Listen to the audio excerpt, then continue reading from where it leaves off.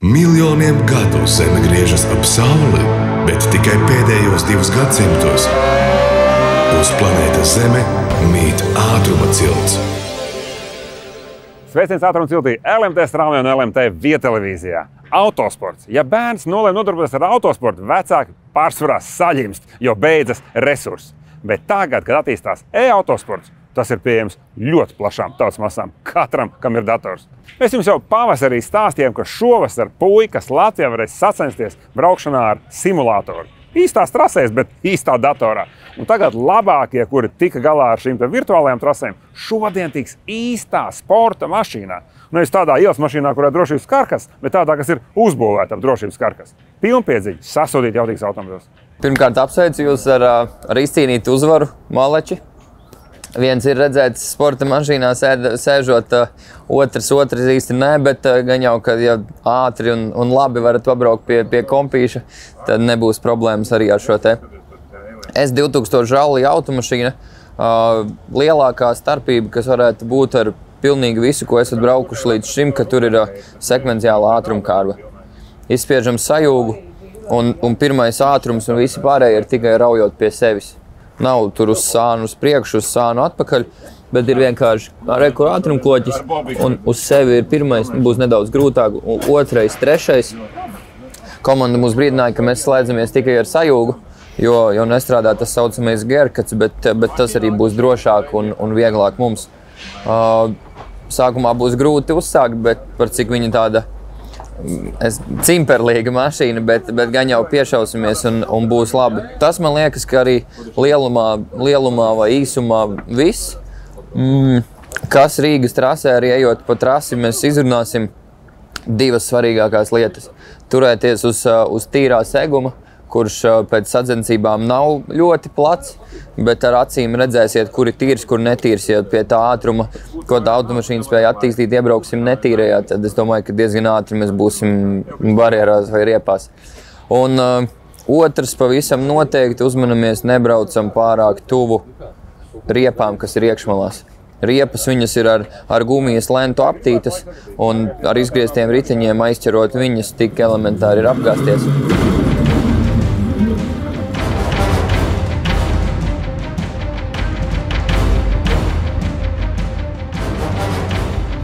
Mārcis, nu, mašīna ir mašīna, jo viņa vairāk raiba, jo vairāk sporta. Bet kas tur iekšā, kas tas ir par automobili? Tad, tas ir Ford Fiesta S2000. Uh, nu jau senos laikos ļoti populāra rallija mašīna.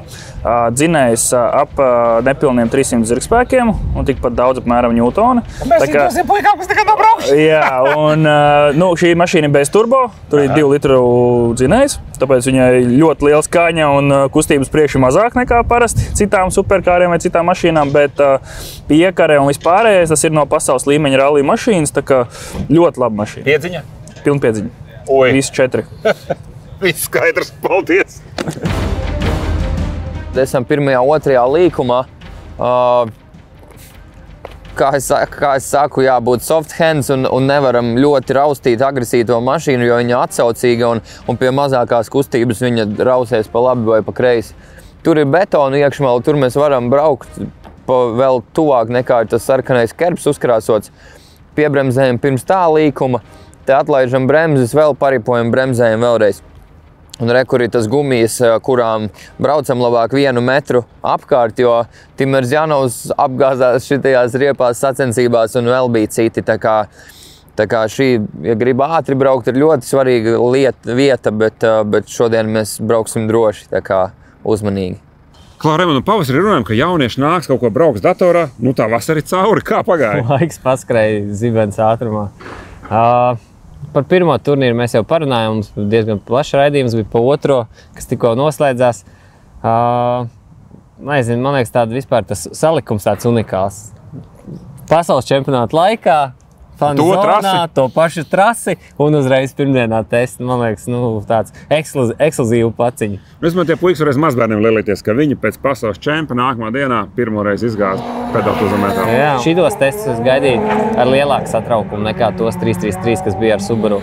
Jo, lai vai kā, nu, trīniekos ir varbūt mazāk bīstami, plus arī ar to Subaru. Bet šī ir S2000, nu, tiešām pilnā vārda nozīmē autosportu uh, laba mašīna un uh, agresīva. Un trase arī biķernieki nu, ir ar visādām riepām, malām tur un visu kaut ko bīstamu. Un... Kā Reini, dators ir baigi svarīga lieta. Tu sacīsi vienmēr visu, ko tu nobrauc, pēc tam pārbaudi datorā. Dators ir ļoti svarīgi. Mēs tur analizējam diezgan smalki tos rezultātus. Tā kā ja tu kaut ko esi tur nosačkojis, to uzreiz redz. Tabula parāda. Redz un uzreiz iedod inženieris iekšā. Labi, tu esi izsaucis no tās paudzes, kurā bērniem roca kartiņa, kur nekāds dators nebija. Labi, tagad izauguši puikas, kas datoram pieķerās sākumā un mašīnā pēc tam. Es tā skatos, jā, nu man tas dators bērnībā vispār ne tuvu es viņam negāju klāt. Un, un vēl tagad man liekas, ka nē, spēlējos ar īstām mantiņām, bet tā, nu, tā laikam ir tā nākotne un, un paliek ar vien populārāk un populārāk.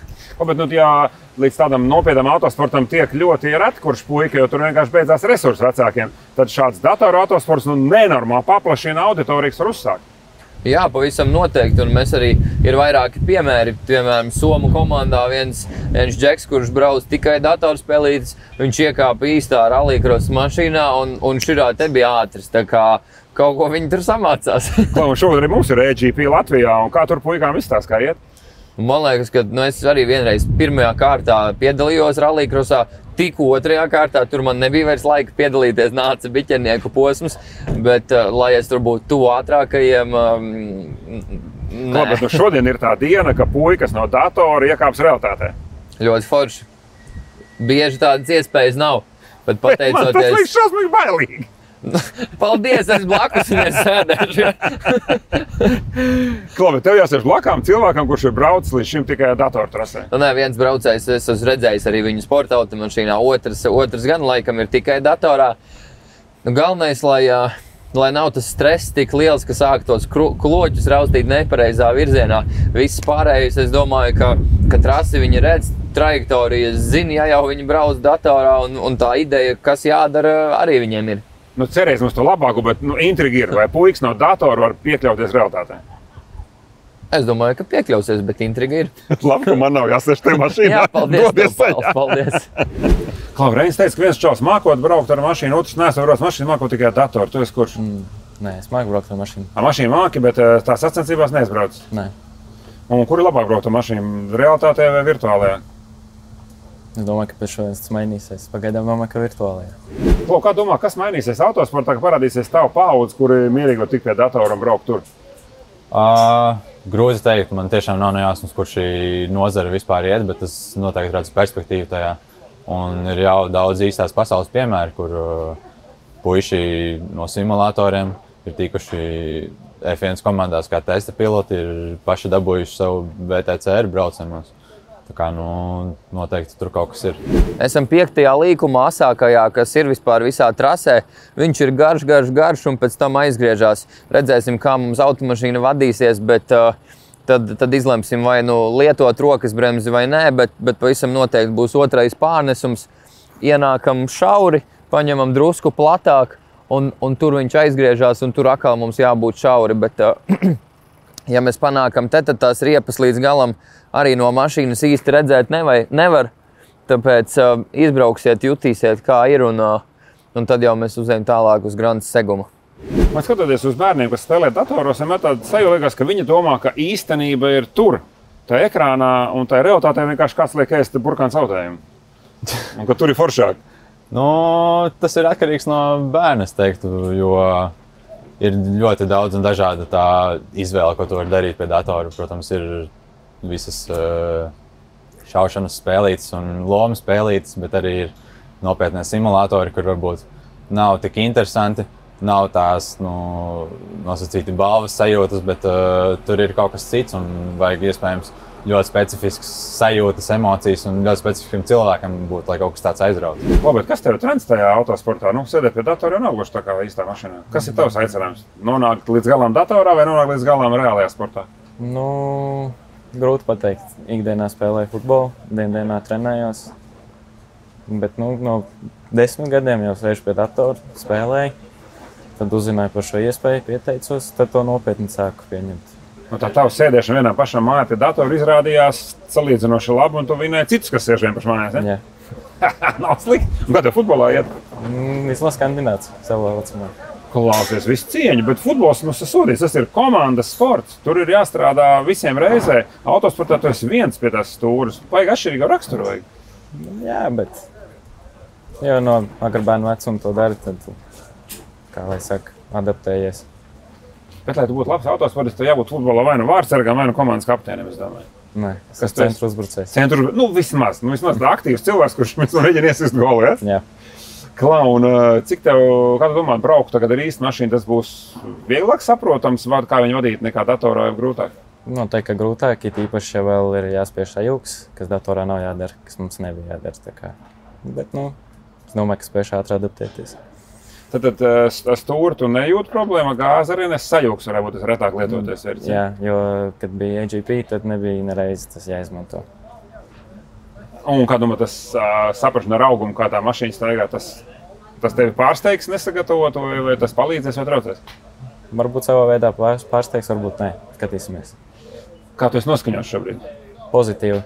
Tad, ja finālā vēl iekšā viss trīcēja, drebēja, tad tagad tāds patīkams uztraukums. Tas jau tā dāvana šodien. Jā. Lai tev diena izdodas. Paldies! kā jau es minēju, galvenais, tad, kad sākam atrauties, nespiežam bremzes, tad mēs nonāksim uz purna un viss būs slikti. Piebremzējam pirms tam, kā mēģinam, esam jau augšā tramplīnā, tā ejam uz gāzes. Kad nākam lejā, arī atlaižam varbūt gāzi, lai nav galīgi pie pilniem apgriezieniem tā, tā lielā saķere piezemējoties. Un uh, grāmatas segums, tas, ko es minēju, viena šaura, tīra trajektorija, izbraucot puteklī, nu, slīdēs ļoti, un uh, tad tā mašīna paliek nu, vairs nevaldāma.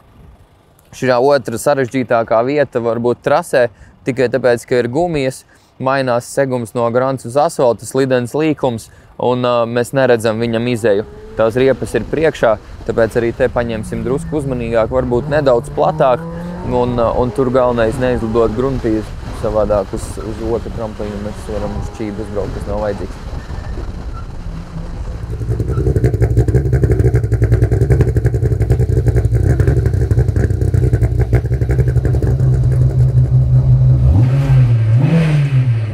Ja man būtu 11 gadi un es būtu pirmo reizi ticis īstā sporta mašīnā, trasē, kur iepriekšējā vakarā beidzās pasaules čempionāts Rallycrossā, es būtu pilnīgā starā. Bet šobrīd es domāju, ka vienīgais, kas patiešām nervozē, varētu būt Reinis Nīdišs, kuram ir jāsēž blakām, jo ko tas čels izpildīs, mēs neviens nezinām.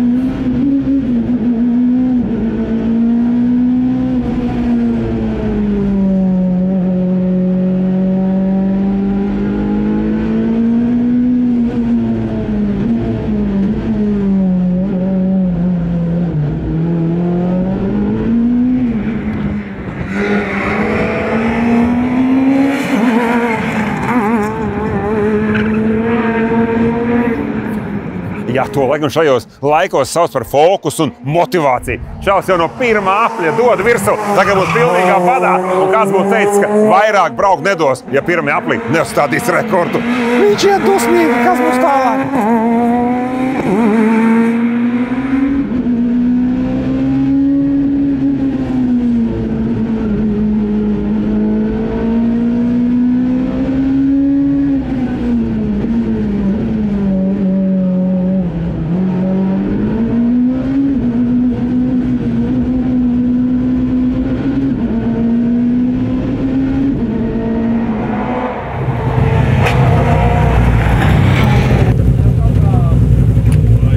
Tev kaut kāda rācija, man liekas, palika.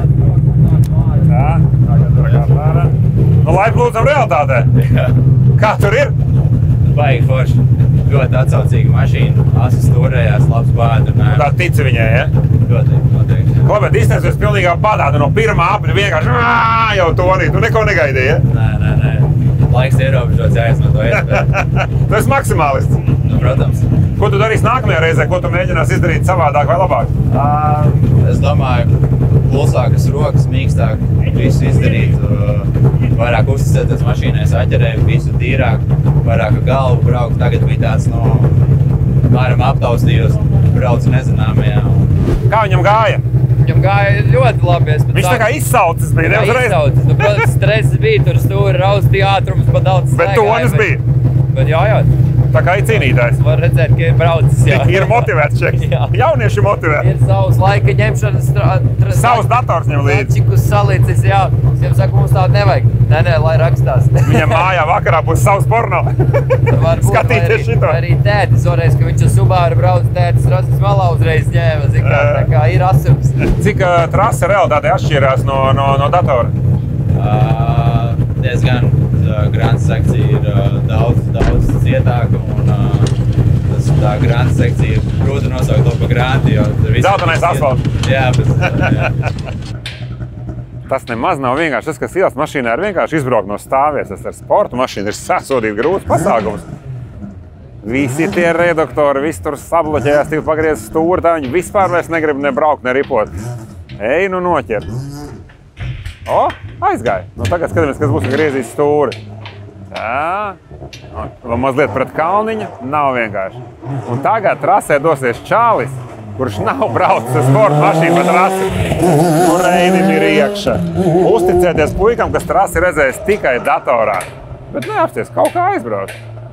Nu, tas nav tik ātri kā cilvēks, kurš ir braucis ar sporta mašīnu.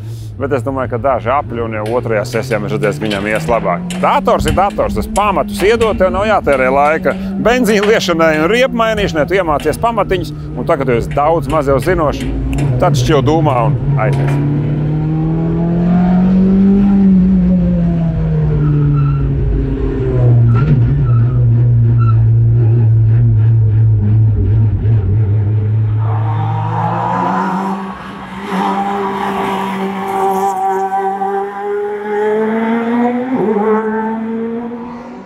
Ir duši, beidzot mašīna sāk rūkt. Es saprotu, ka man pirmo reizi iesēdināja tajā beta bagijā. Tas sodīs, tas arī drausmīgi rēts un jābūt pilnīgam psihopātam turēt to gāzi līdz galam. Čāls pieradīs, būs labi.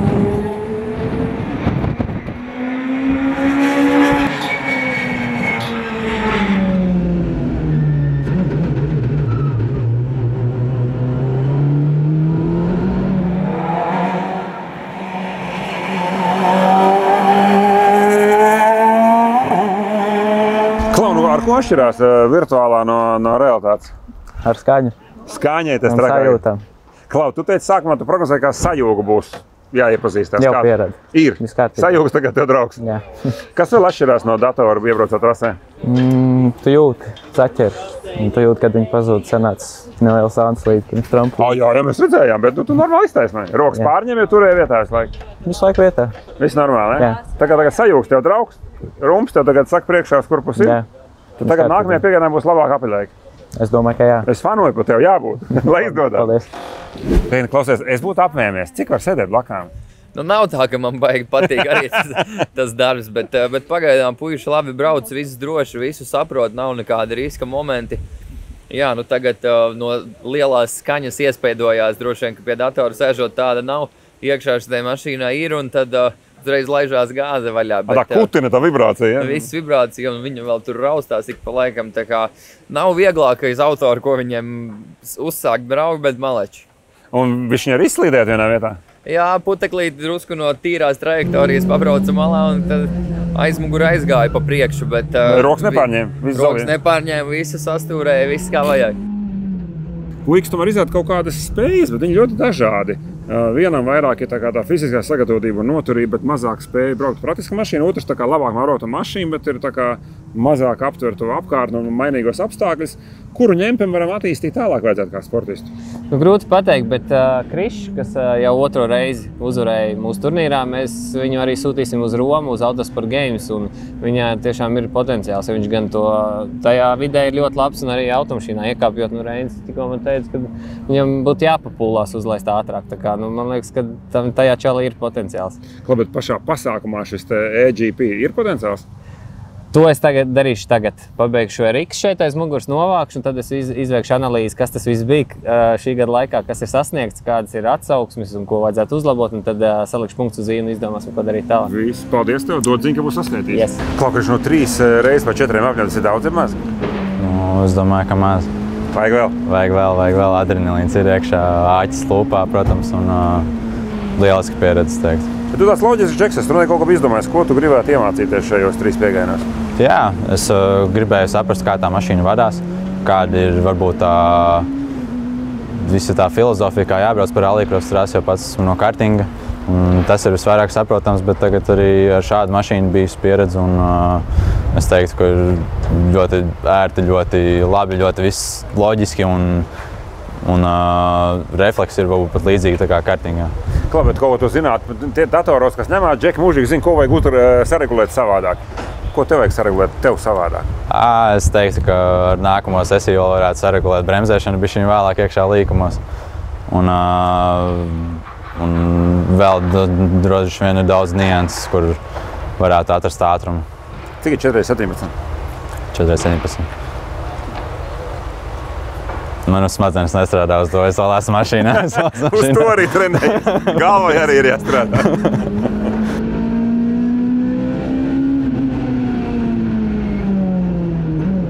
Kā bija? Fantastiski. Cita pasaule.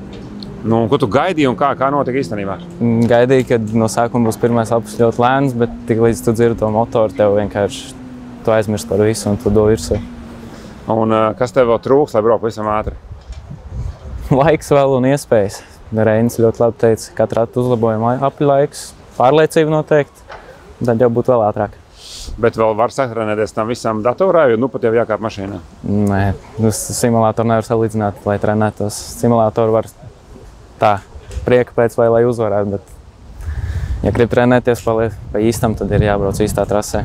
Bet, ja gribi vinēt simulātorā, pietiek braukt uz simulātoru. Jā, Bet datorā trenējies mājās. Bet, nu, jā. Ko dod simulators tam, lai brauktu reālā trasē? Tu zini trasi, tu zini katru līkumu, apmēram bremzēšanas punktus. Protams, saķeri tu pats jūti šeit un pēdas, jo kā tajā līkumā pirms eh, tramplīna kādu putekli, kādu puteklīt uzbraucām un saslīdēja mašīnu. Spēlē tā noteikti nekad tā nebūs. Nu, tagad uh, 3x4 apļiem jūties piekus? Nē, nu, man eh, es katru dienu pie tā strādāju. Man Ah, tu to futbolu spēlē? Jā. Cik ir 4,17? 4, 17, 68. Ļoti labi. Tev galva strādā. Paldies! Nu ko, e-autosports attīstās, bet mēs ar jums tiekamies ātrumciltie LMT straumē un LMT vietā televīzijā. Uz redzi!